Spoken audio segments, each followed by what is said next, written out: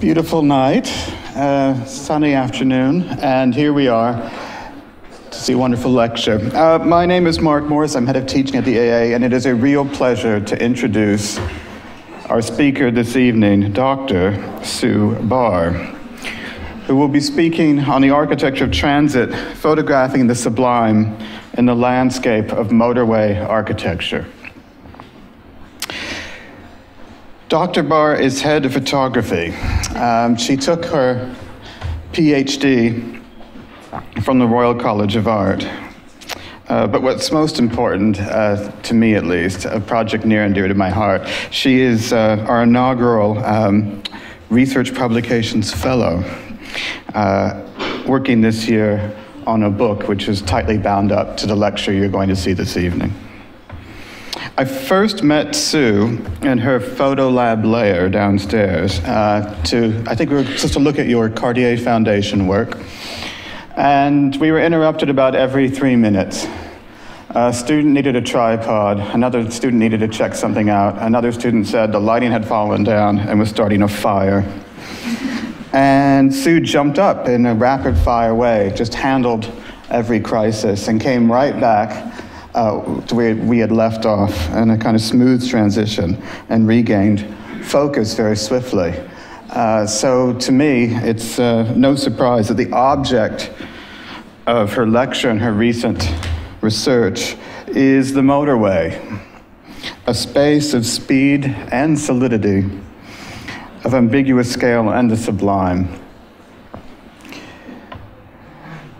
Sue promised me this evening we'd see this other side of her, which I think is interesting. She's given two decades of service to this school, and we get to see a new side of you tonight. That's, that's pretty fantastic. She called it the um, train spotting geek side, and uh, I think, I think we'll find uh, that that will be the last piece of the puzzle uh, that we'll need in your profile. I think there's something important um, to reading the work for me when I always look at um, Sue's uh, photographs, I noticed the crop, I noticed the edges first. She's a master of what's held uh, in frame and what moves beyond it. And I think a lot of her interest in uh, defining the sublime through her work is bound up in what's beyond.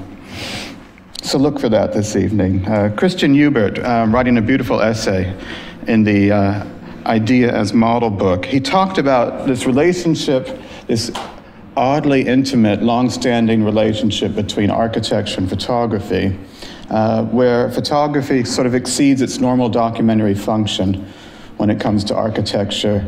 He called it uh, motivated representation. And I think we're all motivated uh, to see what Sue has in store for us this evening. So please help me welcome Dr. Barr.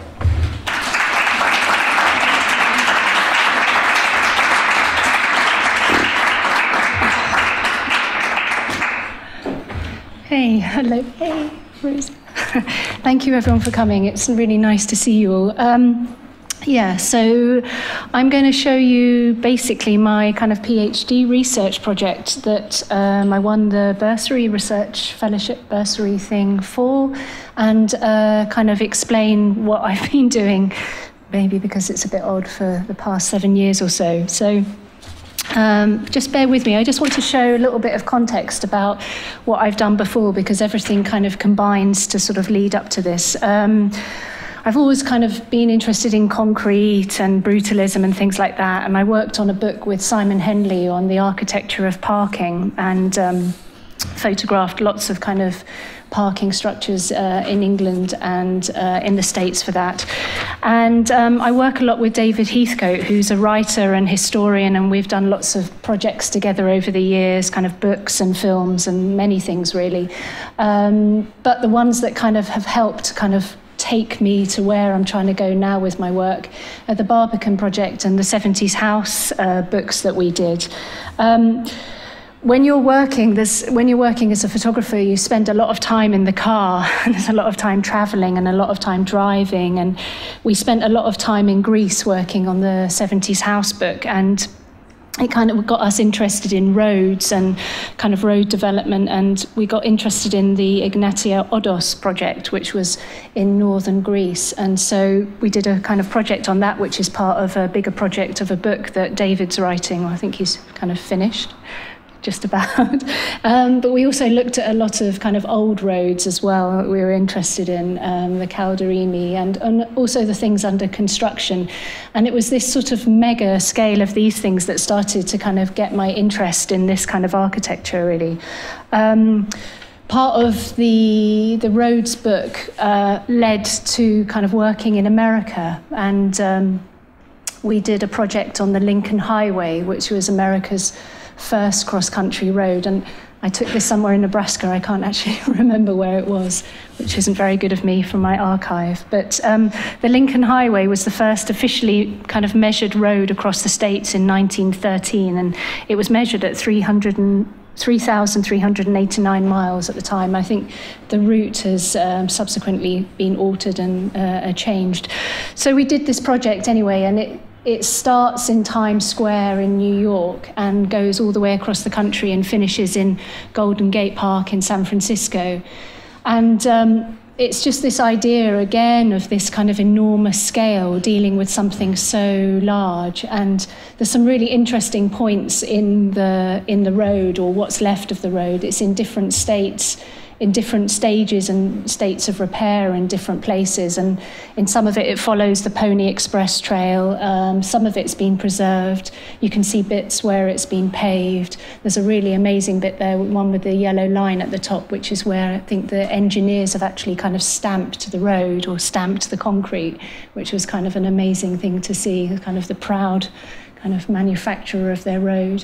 Um, the image on the left, on the far left in the middle, is the point of the beginning, which is kind of really interesting and geeky, maybe, that it's the point at which um, the kind of west of America was mapped and measured from. So it was the point of the beginning of the the expansion west. Um, so we did these projects and kind of looking at this kind of enormous, enormous kind of scale, and um, it all kind of combined together to through lots of travelling and lots of different kind of projects. But the one picture really that kind of um, that started my kind of interest in all of this thing was this piece. That was it's kind of a drive-by shooting, for the want of a better word. Really, it's just a kind of um, snapshot I made near Genoa but um, it was just the kind of extraordinary piece of architecture, this sort of climbing and striding across the landscape, and just the enormous kind of scale of it, really. And it made me kind of interested in kind of how I could think about that as a photographer and how I could think about that to sort of document and, and make a piece of work or make a, a project about it, really. Um, so I realized I started, I wanted to do a PhD because it's something I kind of wanted to take my, my practice or I wanted to kind of develop it because I've been working for a long time as a commercial photographer and, you know, that's great and everything, but it's just, you kind of get set in your ways of working and you kind of have this sort of methodology of shooting and you don't necessarily push yourself and you learn, but not quite in the way that I was interested in doing. So I had this idea to, to work on a, or try and undertake a PhD. But thinking about these kind of large scale structures that I'd been looking at, and this kind of idea of a mega structure that we'd sort of thought about and seen in the work that we'd done in kind of the roads projects and the projects in Greece and this kind of this sort of mega scale stuff that we were interested in. So um, I started off. I luckily I was lucky enough to get a place at the Royal College in the architecture department there, rather than photography. Actually, I think that's kind of interested. That was interesting for me because um, I think I, even though I'm a photographer, I feel more comfortable working in an architectural environment rather than within the photography department, really. But um, so I started the project beginning kind of thinking about kind of precedents, really, thinking about kind of epic scale. I mean, these are both very kind of familiar images to everyone, but Christo and Jeanne-Claude and the Superstudio. But this, it was this idea of a kind of representation, really, of, uh, of a megastructure. And and how and how you can kind of deal with that and how you can capture that as a photographer. I mean, it's kind of uh, boggles your brain, really, somewhat, to be honest. But um, so I started looking into kind of uh, routes and kind of um, scale and thinking about kind of the architecture of the road as one piece of architecture, really, the sort of enormous European motorway network system, and the idea of this kind of concrete ribbon sort of laying across Europe, laying across the landscape, something that starts up on the Finnish border and then finishes in Sicily. So it was this idea how you can kind of deal with that, kind of how you conceptualize it, how you can kind of work with it, how you can make how you can make a project out of that, really. Um, I found this quote by Carl Andre, which I really liked this idea about a road as being a piece of sculpture. So, so that's kind of where it started from the beginnings of the project, just trying to understand what would be potential, what would be possible for a kind of uh, research project.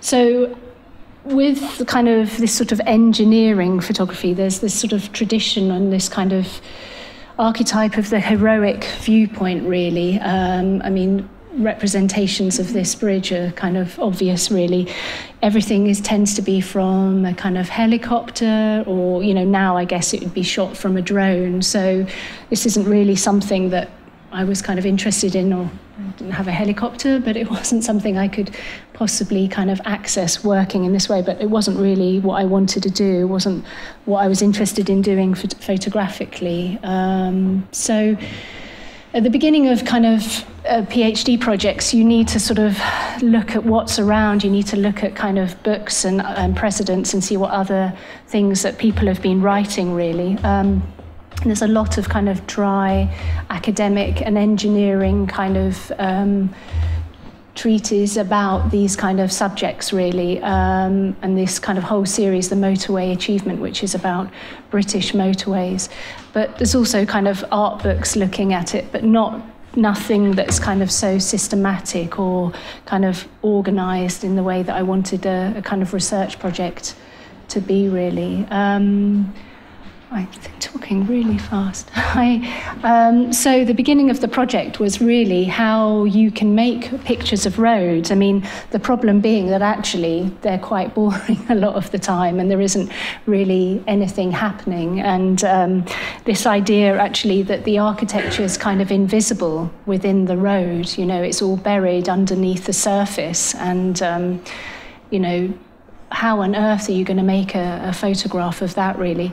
Um, the quote from Dickens is actually talking about northern France, which is from uh, pictures from Italy, which I'm going to talk about a bit later. But um, it kind of this is the problem of the this kind of landscape. It's like where is your photograph? Where is the thing that you're actually going to going to make a picture from? How are you going to form a, a project out of this? So. I started off shooting in um, in Basel. Um, Basel was a city that I was interested in because it's on the borders and um, of all the different countries, France and Germany, and um, I was just trying to investigate how the motorway works in this city. I use the term motorway because autobahn, or autostrada, depending, but um, because the because the, the motorway works right through the city, it's really kind of brutal in the way that it kind of dissects through the city. I thought it was a really interesting place to kind of start off, and you can see in this image on the right, you know, the curve of the well, it's on, an off ramp, but is right next to an apartment block. So it was this kind of extraordinary condition of kind of living with the kind of motorway. Um, but these early kind of stage, these early kind of pictures I made, I, I wasn't really kind of happy with them in a sense that they, I think that they tap into this idea of a kind of um, banal aesthetic, really. And um, this is something that's kind of really, really dominant in kind of art photography. Maybe things are slightly changing now, but um, it's when I was at art school, you know, the Bechers and the kind of Dusseldorf school were the kind of really dominant force in photography. And you know no one was really interested in history particularly with a, with a few exceptions. And so I felt that the pictures that I was making were they were kind of flat somehow visually flat. And this kind of um, this aesthetic where things are kind of desaturated and I felt like it wasn't really kind of doing anything. I wasn't really pushing myself. I mean, part of the thing of doing a PhD is that it has to be original contribution to knowledge. So you're, if it's a PhD by practice, which mine was, you have to be kind of exploring your practice and actually expanding it and challenging yourself. And I felt that these kind of pictures, you know, as much as they're kind of, I like the geometries of them, I like the lines, and, you know, I like being an architectural photographer, I like everything lined up and, and really straight. But um, I felt there was something kind of, yeah, something slightly missing from them, really. So I think this kind of dominance of the kind of Dusseldorf school is a sort of overbearing kind of presence. I mean, I think this is changing now, but um, when I started this project, kind of on and off seven years ago. It's how I felt about photography.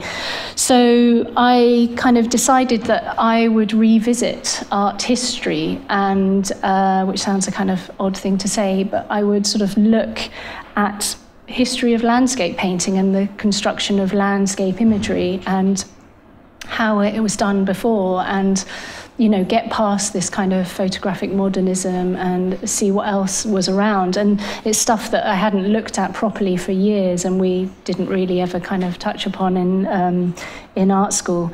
Um, so I, I just started looking at things like color and form and shape and construction. And um, it's a bit strange maybe the, the pairing of this uh, painting by Patinier and then my picture of Salerno. But um, I really like the way that the shape of the roads echo each other. So it was kind of just a, a kind of interesting. I think it's always great to put images together to see how they play off each other. So yeah, so I started kind of going back to the beginning and looking at kind of at landscape painting and the construction of landscape painting. And, you know, basically it was just an excuse to hang out at the National Gallery and just spend my time looking at amazing, amazing paintings. So I spent a long time looking at kind of Claude and Poussin and Turners and all of these paintings, looking at how you know they were constructed, the kind of color palette that they used, the kind of tone. I was also interested in this kind of idea of the narrative within the paintings and how you know things like argument and paragon and all of these kind of techniques of construction were used and how the paintings were framing the view, particularly with the respect to perspective, actually, the way that, you know, colour, particularly in paintings like this, which is one of my favourites by Patinier, the, the use of colour to sort of suggest a sort of depth within the painting and the idea of these kind of different narratives occurring within the painting it's kind of this idea of, of time, which uh, photography can't really deal with, obviously, in the same way. But, you know, I just became absolutely fascinated by this. And it became really, really useful to sort of look at these things. I mean, I only put in two examples here, but I spent a long time just kind of going through all of them, trying to work out differences and similarities and kind of connections between things and stuff. And obviously doing kind of reading around this and lots of Turner's. Um, the great Turner.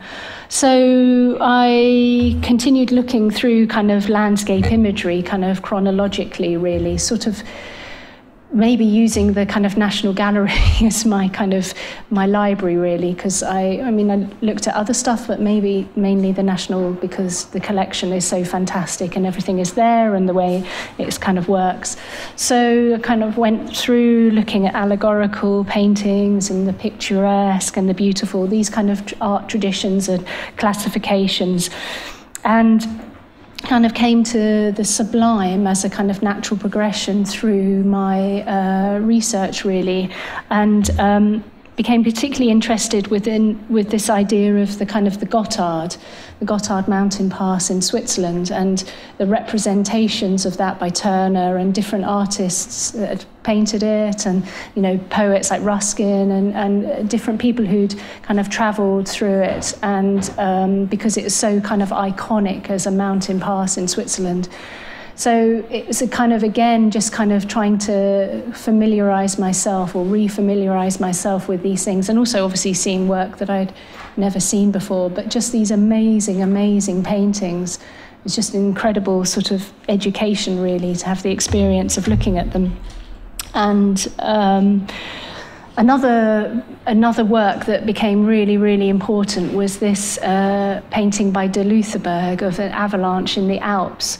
Um, and this again, it becomes this kind of idea of the sublime, and um, it's the kind of through looking through the kind of chronologic, chronological representations of picturesque and beautiful, you kind of come to the sublime and romanticism, and. Um, yeah, it was the kind of the power of this painting, really, with the sort of the dwarfing of the the tiny figures in the kind of the avalanche and the sort of the power of nature. I mean, it's see this is a very good image on the screen, but you can see the, the kind of the power and the emotion that these paintings have when you see them in, in, in the gallery. They're kind of incredible things.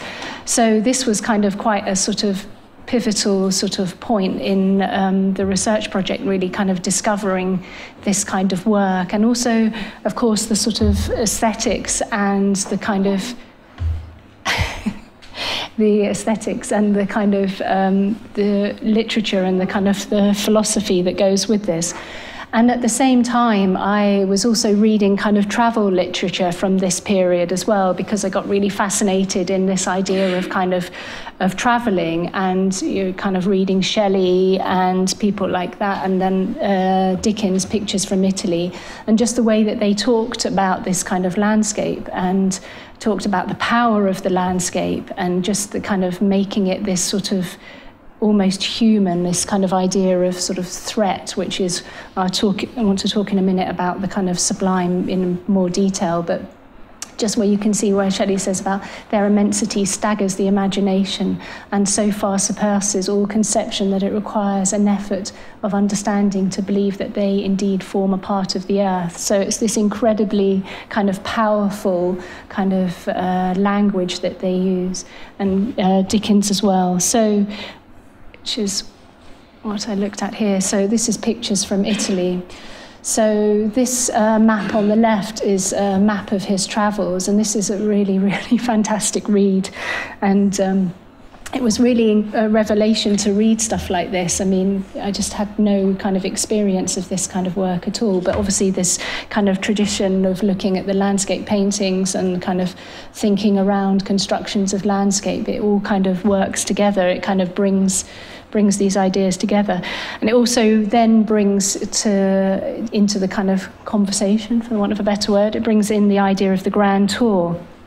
And um, this is kind of quite a, a, major sort of theme around this time. And prior, obviously, prior to the Grand Tour, there was no kind of cult of the countryside in a sense. So um, travellers would sort of be scared of the mountains, the idea of kind of having to cross the Alps prior to the kind of idea of the sublime and romanticism. Crossing the Alps was this kind of nightmarish, perilous, perilous journey, you know, that it was both difficult to cross the mountains and then there were these kind of bandits, as they were called, waiting to rob them at every turn. So it was this kind of idea of the sort of fear of these people. But then, of course, with the development of this idea of the sublime, and it, it turned into something entirely different, and it turned into this kind of search for the sublime within within the paintings and then within the kind of the travels of these people you know then they began to look for this they wanted to experience safely I should say, safely an experience of the sublime whilst they were on their grand tour, really. So they were kind of looking at things that they had experienced in paintings. This is kind of what they wanted to find. So, so I was looking at kind of concurrently the paintings and also the kind of the literature from this time. Also read uh, Goethe's Travels in Italy, which is also great because he's actually quite moany. It's kind of interesting to to read him really. But so this uh, and looking at the maps of the kind of routes they took, there was a kind of very much a sort of traditional map or traditional route of the, all of these travels.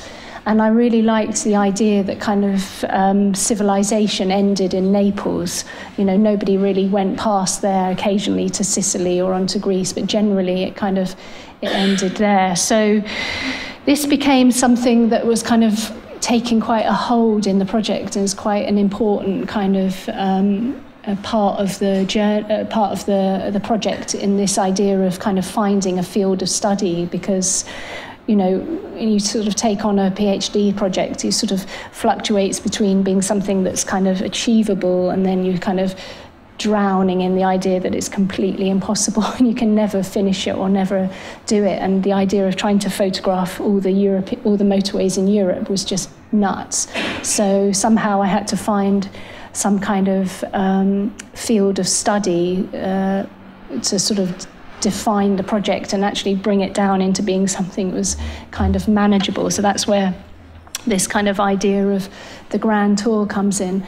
Um, and then I read this book by Burke, um, which becomes kind of one of the major books of the project, really. Um, and he talks about this idea of the sublime. It's his kind of treatise, and he kind of lists the causes and specific definitions and cate- categorizations and classifications of the sublime. And he, and he, it's quite a kind of in-depth book, and I don't know if anyone has read it, but you know, it's kind of very, very precise about its kind of categorization of what causes the sublime, what doesn't, and, and also in regards to the beautiful. But that, oops, I've missed off the L. um, but that's not quite what I'm going to get into. But so he think he says things like uh, darkness, obscurity, vastness, height, mountains, deserts, the stormy ocean, the infinity of space, the ungraspably vast or formless, and of course the absolute power of God are things that kind of have a property of the sublime about them. So this was a really, really important book to read, and it really helped me to kind of understand what I was doing, and I'm going to talk about um, the kind of development on from this book in a minute. But I mean, the book is filled with amazing, amazing quotes. But um, if you just allow me to read one more, and it's whatever is fitted in any sort to excite the ideas of pain and danger, that is to say, whatever is in any sort terrible or is conversant about terrible objects or operates in a manner analogous, can't say the word, to terror, is a source of the sublime. That is, it is productive of the strongest emotion which, which the mind is capable of feeling. So, this is what he's talking about this kind of overpowering, kind of emotional response to things. But there's also built into that, I mean, it's a very complex complicated book, but built into this is uh, the idea of danger and jeopardy. But it's this kind of idea of the immensity and a, an enormity of an emotional response to something that I became really kind of interested in, and particularly because the sublime is such an overused term and is something that you know people use nowadays. I mean, obviously the words change their meaning, but I was really interested in this original idea of it and how it has it is a things can be a trigger for this kind of emotional response really and how I might be able to use that within looking at architecture of motorways which kind of sounds quite strange but it's all about trying to find a methodology for working. And um, so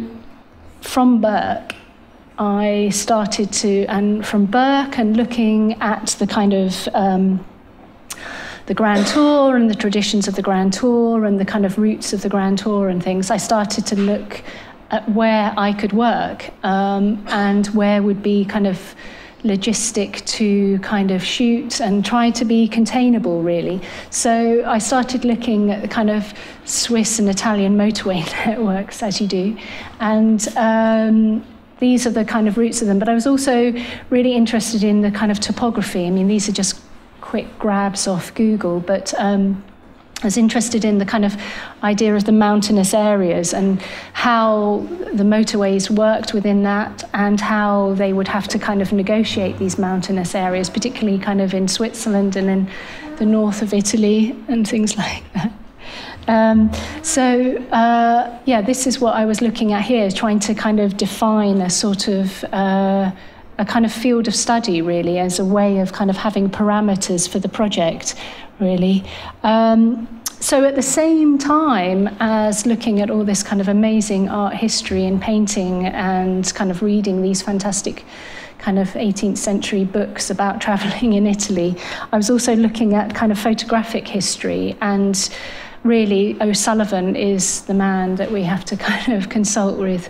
Um, his just was the most amazing kind of photographer working at this period. I mean, he, oh, I turn it into a lecture about O'Sullivan, but um, so he was working, uh, he worked photographing in the Civil War, but after that he worked on the kind of geological survey expeditions in America where America was expanding west. And so he was one of the main photographers. There was a, a group of them, but he, him, and uh, I had completely gone blank on the others, the names of them. But anyway, I looked a lot at O'Sullivan's work. Um, and it's absolutely amazing images. I mean, they really, really relate to landscape painting, which I guess is the kind of obvious connection in a way, really, because, you know, there wouldn't be photography for them to be referenced again. But, you know, the pictures that were made in such extraordinary conditions, all shot kind of on, on glass plates and things like that. Um, so O'Sullivan is a kind of really important person in the kind of history of sort of landscape painting and I'm sorry, uh, landscape photography. I also looked at kind of uh, photography that was used kind of more for sort of mapping and on kind of colonial expeditions in India and Burma and places like that. So the amazingly named Linnaeus Tripe, which is such a fantastic name for a photographer. And, um, and Charles Marville, who obviously worked a lot in Paris. And they were interesting photographers because they had a very kind of systematic approach to photography and their kind of relationship to architecture and how they used photography, this kind of idea of the camera as being a kind of surveying tool. And so, you know, they would, especially uh, Linnaeus Tripe, who would kind of make these very systematic views of temples and kind of shooting every elevation. And it was a very much a kind of documenting and kind of mapping project. But this was kind of a nice ex- uh, excuse to hang out in the Royal Geographical Society library, which, uh, or the photo archive as well, which is kind of amazing. Um, but I kind of, there was something about the neutrality of these kind of pictures that I wasn't wasn't so interested in in a way. Um, I mean, can, you could talk about them being kind of faithful somehow, but I was interested in something that was much more making pictures that were much more sort of had a moreness to them, which is something that uh, I talked about in kind of tutorials. So, with the, these ideas, this kind of um, these references of O'Sullivan, of the landscape paintings and things like that, I started to try and make make pictures and um, I thought about architectural and photographic typologies and how the kind of how the motorway works within the landscape within the city and this idea of over and under and through the city and you know thinking about cuttings and tunnels and entrances and galleries and these kind of things these kind of things that could almost be sort of ticked off as a way of kind of documenting and, and kind of shooting. And I think this kind of relates to Burke a bit in a way, in the sense of having this kind of classification and having this kind of. I really, I really like boxes and ticking boxes and everything to be neat and, and tidy. And the idea of just having a checklist of things that I could go and shoot was just somehow pleasing, but obviously that would just make a really boring project. So um, this was a kind of a sort of an investigation that I made, but I don't know, kind of. Uh, I decided to work on it, uh, on, on kind of other things which I'll, I'll talk to you about. So I decided that I needed a kind of case study site, and um, I decided to work in Genoa, first of all. Genoa, Genoa. Um, and this is an interesting city. I mean, historically, um, because of the kind of the routes of the motorway and the motorway starting here and kind of the port and the importance of the port. Um, but I'm not the expert to talk about this. I think David should be the one talking about this. But this was a this city was a, a good place to start because of the kind of dominance of the motorway around, kind of circling through the city.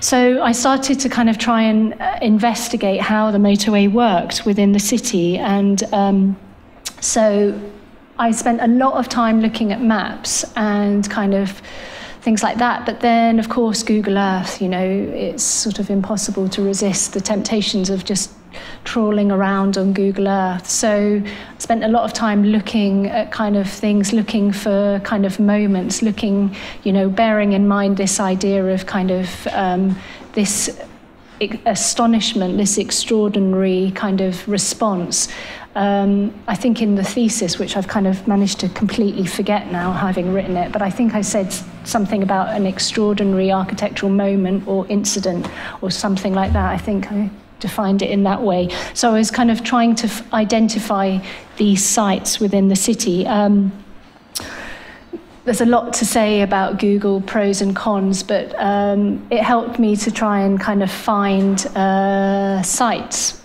and find places to shoot. And um, that's not to say the entire project was based on Google Earth, but um, I'm going to talk a bit later about the problems of that as well. But these are some of the beginning pictures I made in Genoa. And um, it's funny, this, the picture on the left, people often think it's photoshopped, but um, it's not. So um, I was interested in this kind of proximity and this kind of enormity and power and kind of strength of the architecture. Um, yeah, and so these are other investigations I made. something to talk about a bit later maybe is this idea of kind of diptychs and how pictures work together. You know, sometimes they work individually, sometimes they work as groups. But um, I mean, after taking them, I kind of realised that they obviously they go together. they were shot in kind of near enough the same place, but there's there's something kind of quite nice about placing them together. And now that they've been placed together, I can't ever separate them. I can't look at one picture without the other. But um, yeah, so there's a lot of time kind of uh, looking and, and, and observing, but that's kind of what I wanted to talk about now, actually, this idea of quickly looking and slowly seeing, which is was quite an important thing um, to write about in the thesis. And um, Thoreau said, the question is not what you look at, but what you see. And I think this is, I think this is a really important thing. And my students will always kind of tell you that I just bang on about using a tripod the whole time, but it's this idea of really kind of slowing down and looking and, and really, really observing through the viewfinder. And because I use a large format camera, you have that luxury of having a large kind of ground glass screen that you can actually look at the world through. And it's something where you just need to look and look and look, whether it's with a 35 mil or whatever, with a waist level finder, or however you're observing the world, you just need to look and, and really think about how things work and how perspectives work and stuff. It's kind of great when you look at the world through um, a ground glass, ground glass screen because everything is upside down and it gives you this uh, amazing kind of distance in a way. Um, it's almost like when I was at school, I remember one of my art teachers saying to look at drawings in a mirror. And it's just this idea of kind of sort of seeing something but being slightly kind of removed from it in a way, but just this idea of kind of looking. And the camera, luckily, it's, it's a really nice way of shooting to have this really kind of extended look. And um, this is something I wrote about in the thesis this idea of slowly, slowly seeing. And um, it really helped actually to write about these things. But I just wanted to talk to you about this um, case study, um, which is um, in a place called Voltri, which is near Genoa. This is, um, these are the kind of maps of the site. And this is, um, the colours are awful. they don't look this psychedelic, but um, so this is the site that I was kind of interested in. And if you look at the, uh, the maps, you can see that the, there's a kind of really complex conjunction of motorways, different motorway routes, roads, trains, there's a kind of river, the, the kind of topography is kind of steep as well.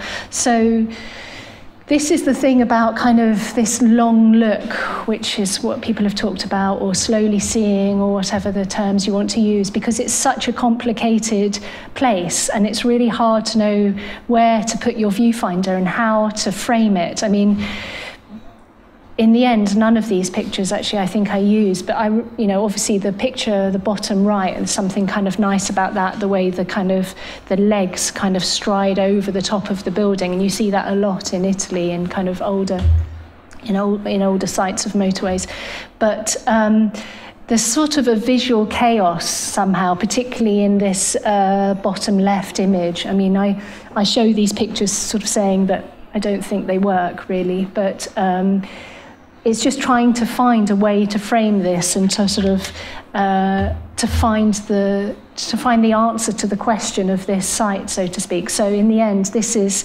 the uh, this is the image I made, which is actually slightly further to the left. But what I was interested in this in in a lot of the pictures now is this kind of these ideas of proximity and a kind of space or lack of space and kind of scale and it's almost like a collage. It's almost like a kind of composite somehow, but it's real and just this kind of squashing together. And then at the bottom of the picture, I haven't got point, uh, you know, there's a, a kind of underpass under the under the train line. So there's kind of this enormous sort of power of the image. I'm obviously not comparing myself to Piranesi, but I was looking at. Um, these uh, the prison etching series at the time, and I was just really interested in this kind of complexity of the the image and the intensity and denseness of the image, and I thought there was kind of something about that, this kind of the combination of the two. So. Um, then, yeah, so I kind of carried on shooting, looking for different sites. Um, this is about, I put this in because this is about a site, again, where there's lots of options somehow. There's different things within the, within the location to make a photograph of. Um, this picture on the left of a little man, came, little man, a normal sized man, came into the picture with a red t shirt on and stood there and kind of put his hand like that. And I really didn't ask him to, but he sort of almost ruined the picture, I think, somehow, because it looks so crazily fake somehow. But um, this is the picture that I kind of made the sort of picture that I decided of this uh, of this site that I felt was kind of answering the kind of the questions or the kind of trying to answer the methodology that I was interested in. I was really interested in the kind of ruinous nature of this as well. If you look at it really carefully, you see the kind of reinforcement coming through in the concrete and the, the kind of foliage kind of threatening to over overcome the kind of the concrete and also the little people in the background kind of um, I was really pleased with they walked into the shot because of um, because they give this idea of scale and distance. So I don't want to get into the whole thing of people in architectural photography because that's a sort of tricky subject, but um, I was pleased by their by their uh, presence. Um, another book that I looked at that became very important was obviously this one, everybody knows Complex- Complexity and Contradiction by Venturi, um, particularly when he talks about these kind of this idea of violent adjacencies and this kind of writing really, really helped to kind of solidify his ideas of how I was going to shoot um, and how I was going to create this kind of methodology. So it was kind of taking ideas from kind of Burke and the sublime and this kind of astonishment, but also this idea of kind of proximity and scale and all these kind of things. So it was kind of a combination of these readings and this kind of research that helped to make this uh, this methodology really. And so with this kind of armed with this kind of uh, recipe in a way, I was kind of looking for kind of places to shoot. So I got really interested in this idea of scale and the kind of towering kind of dominance of the scale, and then the kind of shadows and things like that. Um, the titles actually just as a little aside, the titles of the pictures are usually where they're shot from. There's a couple of places where I haven't actually been able to work out where I was, which sounds a bit strange because I couldn't find a name anywhere, but usually they're the locations. Um, yeah, I'm sorry, I'm skipping ahead. Um, again, this is to do with, again, light and, and uh, kind of the extreme contrast of light and shadow, and, and again, of proximity, this idea of this kind of you know, looking out of your balcony window and you're seeing these enormous kind of pilotti kind of next to you. Um, and then these are, yeah, these are some of the, the pictures from, from this series, really.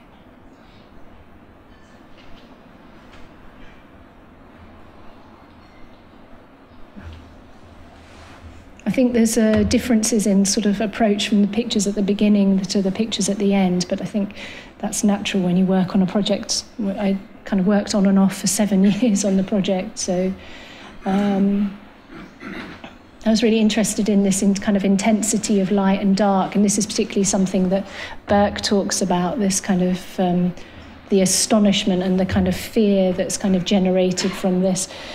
Um, these spaces in Naples, this um, this comes at the end of the sequence, but I'm going to talk about this in a minute. Uh, the colours are horrible. I'm sorry, they're not.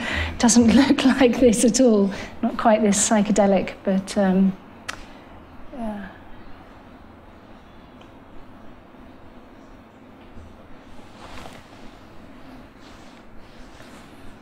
So this is again some somewhere where there's kind of is just a lot to shoot. it's just extraordinary, extraordinary place.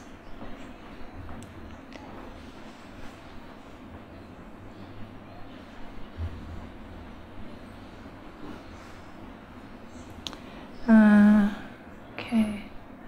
This is one of the few I shot in the snow. I didn't really do any more of those, unfortunately. Um, it's a problem when you work on a, on a project for such a long time, how, you know, your ideas change about it, about the work and the project, which is kind of good, which is what you want, but also there's always the problem when you're on site and you're shooting and you kind of get hijacked by something. And this is, I show this as an example of that. This is in, um, again, in, in amazing Naples. This is a bridge that was kind of cut off and it was just really weird and random. And, um, you know, the site was too shoot, too tight to kind of shoot it in a way, and I'm not really sure that any of these pictures kind of really nail it particularly. But you know, it's something that I was really interested in, and the, the, kind of the visual chaos of it, and just this extraordinary thing of this bridge just being cut off. But it kind of became a sort of tangent to the project, which is great because you know you're working and you're finding, you're kind of finding pictures. But there's always this problem of things kind of sidetracking you and kind of taking you off, and you always have to be thinking about what the pictures are about. I put this in because this was such a sort of potentially such an amazing place to take pictures, and it was just didn't work at all. Um, this is in the Abruzzo, and um, there's something about shadows on a map uh, in well in Google that kind of always sort of makes you think ah there might be something going on there something interesting. And obviously Google is shot from the road. I'm not interested in making pictures from the road but you know it's just the most extraordinary piece of, of road that kind of maps and and follows the kind of mountains, but when you're down on the on the street level, it's kind of impossible to shoot. There was just couldn't get it to work. You know, it's the way that the camera is kind of democratic and it shows everything. And there's something about when you look at a scene and when you read a scene, or a scene as in a view and a, in a landscape, we we don't see it in the same way. And um, there's an interesting essay by uh, Burckhardt about this where he talks about how you kind of just fill in the dots somehow. It's just, you know, you take bits and you don't take other bits, but the camera doesn't work like that. The camera shoots everything. And so I just couldn't get this to work, which was unfortunate. And the picture on the right is not good, but I'm, I'm showing it in the, the spirit of, maybe it's interesting to see things that don't work. The other uh, problem, or problem with, with this kind of project or taking these pictures is actually there sometimes you see things that you just can't shoot you know because there's nowhere to stop or the kind of they're inaccessible the location is kind of inaccessible. This is a kind of experience of anyone who's driven around Genoa. You have this amazing experience of driving into a tunnel and come out of the kind of blinding light and you're kind of it's like being in a computer game. You're kind of it's strobing almost and especially in the summer when it's so hot but you know, it's an amazing film to be made, but it's not something that can be shot. And, um, you know, it's almost like it doesn't exist. There's not anything that you can really shoot.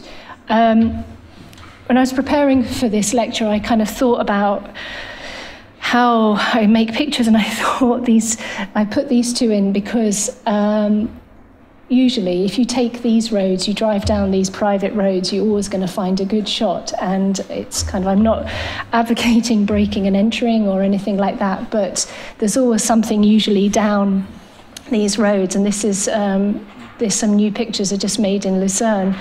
And um, it's just it's kind of funny how you can well maybe it's not funny but kind of abandon your car in the middle of the road and get out and kind of find these things. But this is an example um, I wanted to talk about this amazing amazing site in Naples that again that kind of adheres to these kind of ideas I was interested in about um, kind of the extreme kind of responses to the site. And you can see here this kind of spaghetti junction esque kind of tangle of kind of roads, but it's well, I managed to find a hole in the fence, shall we say, at five in the morning. But um, it's it's kind of inaccessible, but I think it was kind of worth it to make um, this picture. This site is amazing. I mean, you could spend forever they're making because the motorway just kind of extends off into uh, all different directions. The most extraordinary kind of uh, location. Um, okay um, slight change now. I just in 2014 I had um, an exhibition in front members luckily and it was a nice um, kind of way of uh, kind of exploring ideas of uh, how to work with the images because you know I'm shooting digitally so everything is kind of on your laptop the whole time and it's not often that you kind of outputting stuff. So it was this idea of exhibition as research and I was kind of coming towards the end of the project. Um, so I was kind of trying to think how to kind of deal with exhibiting work and how to show it and I was really interested in this picture by Zoffany obviously of kind of the massing of images. And so I, what I really wasn't interested in was this kind of polite pictures around the wall in kind of window mounts and kind of the white cube thing. So I kind of wanted to try and have this sort of installation, this kind of idea of the sort of massing of images and um, it's working with maps and, and just to make it more of a kind of an environment really. Um, so that was, yeah, that was a really amazing way to kind of work out what I didn't want to do. And so then kind of at the end of the project, you need to edit. You know, you've got this work, I've been working on it for on and off for kind of seven years. I've got hundreds and hundreds of pictures, and you know, you need to kind of you need to come to some kind of conclusion about what it is that you're doing. So um, I think what's really important to know about when you make work is actually what not to include. And you know this idea that you have to remove your favorites from a project you know and that previous picture didn't fit because it was outside of the field of uh, field of study. And this is one of the first pictures I made and I really like this picture. But it somehow it doesn't work because it's not about the motorway and the sublime, it's more about this is actually a cemetery. So this is an incredible retaining wall for the cemetery behind, and I think you know the picture is about that. So you have to sort of really be tough with yourself when you're working on kind of the final edit of a project. Um, and this is another example of something. This was in, uh, obviously again in Naples, but you know, this didn't work because of the format and the choices I made to make uh, this picture. But this kind of, this editing led me to the final piece of work. And um, when you do a, a, PhD, you obviously have a exam or a viva, and you have to make this kind of presentation. And I made this ridiculous, huge box that's kind of um, yeah it's a very Instagram-ish picture with my trainers. But um, i made this enormous but i think i kind of lost my mind a little bit actually. And it was i don't know 60 by 60 or something. It was 17 meters yeah, that, I was just going to say that. Yeah, so um, so I made this kind of uh, photographic le- uh, leporello, and it was 16 meters long actually. And um, I think, kind of thinking about it now, I somehow like the perversity of making something that I couldn't actually show somehow. But um, anyway, so it was about this idea of how the images work as groups, and you could kind of unfold it and kind of they could be read individually, they could be working as doubles, you know, they could work as this huge thing. Um, and uh, just very quickly, so I stick to the time, um, just show you the last few pictures from that. It was I think there's 29, 27, 29 pictures in the in the Leporello, and the the photographs, the kind of final pictures, the final work, they they kind of follow a kind of narrative, starting with this, where the kind of motorway is very small within the landscape, and there's also there's a kind of all, almost a kind of reversal of the sublime, really here, where the the landscape is is the kind of sublime in a sense, you know, and the motorway is kind of small and scaleless, and then and this is just a digital representation of the work, so you can see how the motorway kind of, or the architecture kind of travels, moves up, extends out of the landscape and becomes almost, I think when I look back on my writing about it, I sort of talking about it almost like being an animal somehow, kind of the way it it sort of develops and comes out of the landscape and comes into the city or the fringes of the city, and then it, how it has to kind of connect with the city all the time in each of the photographs. It's dealing with this kind of extraordinary condition or proximity or light or scale or something like that. And then at the end of the series, how the kind of uh, the enormity of the kind of motorway architecture sort of takes over and it becomes this kind of uh, sort of canopy over the city in a way that sort of encloses the space and sort of overtakes everything. But, you know, I didn't, there's a kind of, it was sort of easy in a way to make something really dystopian, and I didn't want it to have that. So the kind of the final image is something where it kind of, it, it extends on, and I'll show you that image now. But um, just before I show you this picture, I was just setting up to make the picture, and this is the most horrible place to take pictures. It's really grim and flea bitten, and this is all piles of trash everywhere. And this amazing little white dog just ran into the scene, just this perfect, beautiful, I don't know where it came from at all, but. Um, and this is Ann Radcliffe, who I also read this kind of gothic, gothic novel. And this is the end of the project, where the kind of um, the motorway kind of goes off and kind of continues out of out of the frame and out of out of the scene. There's um, yeah, there's a whole other kind of conversation to have about the kind of transformation of the sublime into the beautiful through photography, but um, that's a that's a whole other story. But um, there's an aware I have an awareness of that that that is a factor within the work, and just. Um, yeah, just finally, um, just to sort of round up to where things are now. Last year, I was asked uh, by uh, Cartier Foundation in Paris to be part of a show about. Well, the show was called Auto Photo. It was an amazing show about the relationship between photography and cars, which is extraordinary. No one's ever kind of curate, curated a show like that before, really. And it had Walker Evans, Robert Adams, Catherine Opie, Lee Friedlander, William Eggleston, God like William Eggleston in it. And um, these are just the three pictures I had in the show next to Hans Christian Schink, which was kind of um, interesting to have. And um, this is kind of where I am now, really. Um, and I'm very happy to have received the, the research bursary. I have to say thank you, big thank you to Mark and uh, Mike Weinstock for their support in that. And so I'm publishing, hopefully publishing a book of the project, but not as a PhD, but as a, as a book of the project. and um, working with Daily Lion, who uh, everyone, some people will know, really amazing designers here. And the publisher is Hartmann Projects, based in Stuttgart, who are just the incredible. I keep saying this, but you know they they've uh, published everyone from Robert Adams to um, Peter Bialobrzeski and uh, Norman Behrens recently, and really fantastic people to work with. And um, it's really kind of honoured to be working with them both. And that's kind of where the project is. The the kind of bursary is um, is sort of enabling that. Um, it's kind of a long thing to do to publish a book. It takes a long time, and but it will get there. And I just finish by just showing you the last three pictures. These are my holiday photos. the last uh, things I've been making around Lucerne.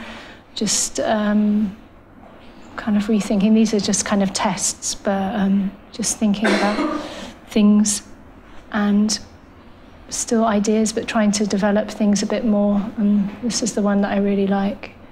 It works the best. And um, that's it. Thank you for listening.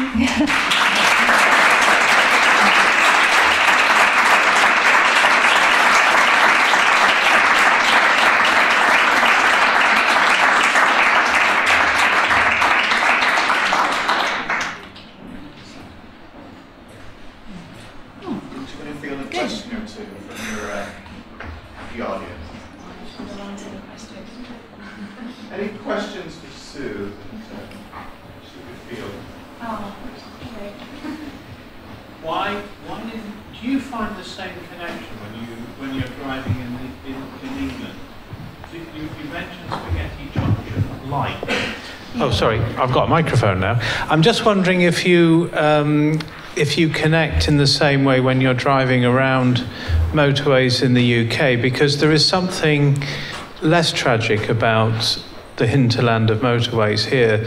You can picture the fact that you know we feel rather worried for you underneath some of those flyovers, you know. and if it wasn't for that little white dog, I don't think you'd you know you'd kept your, your sanity very well in some of these gruesome places. But you mentioned Spaghetti Junction mm. like. So you must have obviously had a connection with a UK motorway architecture as well as a, an Italian. Yeah, yeah. Um, they're just not very interesting. Am I allowed to say that? not very interesting. Um, yeah, it's just the desire to see the other and photograph something that's unfamiliar. I know a lot of photographers work, you know, we talk a lot in school about Guido Guidi because he works a lot with us in in uh, our photography courses. But you know, he, as an example, photographs at home, not all the time, but you know, there's that tradition in Italian photography where people are are shooting things that they're familiar with, and I just can't see stuff very can't see stuff very well when um, I'm here somehow. I like, and I like the extreme kind of situations, and I, I find the pictures, I can see them in a way that I, you know, the landscape is, is not enough here. It's too, um, it's too underwhelming somehow. I'm not answering the question very well, but I just, um, yeah. Okay, thanks. Sue, I mean, just comment, fantastic talk. So very, I can hear enlightening to, Thank you. to hear it. I think it's very interesting that uh, the to see your obsessions when you were doing your PhD, um, and I think it was beautifully described how your your PhD was all encompassing. You know, people normally kind of never talk about their PhD or the experience of it. So I think that was really great. I mean, just recently I've been reading Susan Sontag on two essays, one on sensibility, it's actually about camp, but she talks about sensibility, and then another one about low and high culture. And mm-hmm. I think it is rather amazing how you retraced uh, the steps of the kind of 18th century in a sense, and that she produced the sensibility, but not the product. And I think, I think that's really fantastic because it's very contemporary even though actually a lot of the motorways are really in the past, yeah. yeah. But I think that's really what's so beautiful about them actually is the fact that, that you've created the sensibility that they were looking for, but it's a 21st century sensibility. So I think it's, Thank I think that side, which is not the academic side of your No, PhD, no, worked course. extremely well.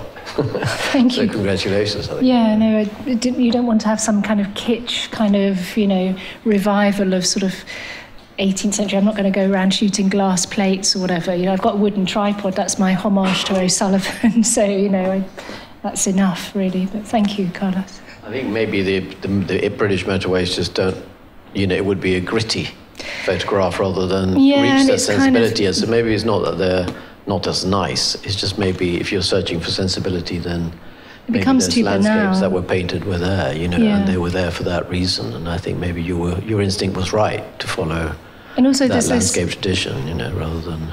Yeah, absolutely. There's this thing about irony, you know, and it kind of becomes too kind of cool and look at this, you know. Yes, I'm not interested in the banal or kind of coolness or irony at all. So, um, yeah, thank you.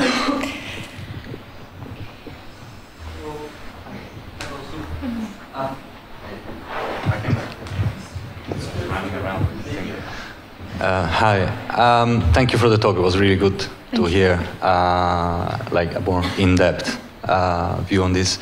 I was uh, wondering, like, have you ever uh, looked at this? Because you, you, you showed some photos, some pictures that you had um, that, that didn't make it into your PhD, and they kind of like uh, the, the early ones that you showed, and they were kind of flat, and there was no uh, gravitas to them in a way Yeah. and uh, but you were starting to find uh, your way into this story and and I wonder if you uh, if I'm seeing double or you're uh, in in in this case and uh, you know the the most um, the ones where you're like where you see this like you know where, where there are like these really strong perspectives of these viaducts uh, are you seeing these as characters? Have you ever looked at them as characters in a story, or are they simply things? Because really, there is a tension, like when, especially the ones that like cross, uh, you know, uh, inhabit, you know, areas like buildings and you know, like not the ones in nature, but also those ones, per- perhaps less is maybe less obvious, Yeah. but the ones that,